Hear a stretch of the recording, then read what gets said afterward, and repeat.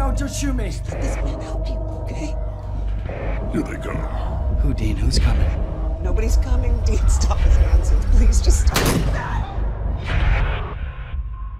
Listen, I promise you, there was, there was something in my room. Hallucinations are very common with sleep paralysis. This wasn't hallucination, okay? They were standing over me, staring down at me. Mommy, Come on, Nathan, let's go. mommy, this is the man.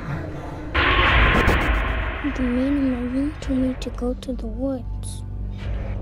I thought I told you to tell him to go away. I did. He said that if I ever said that again, he would kill mommy. I got two missing kids, and your son's a witness. You know what I think? I think you know what happened out there. I think you know what was wrong, and you didn't do anything.